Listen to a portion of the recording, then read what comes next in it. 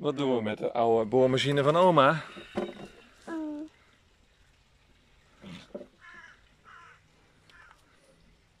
Nou, eh, rij je maar dan hè.